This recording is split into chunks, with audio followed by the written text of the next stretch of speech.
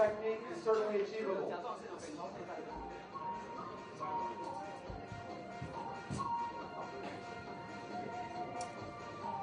By strengthening the throat, you can actually improve your immune system and be more resistant to colds.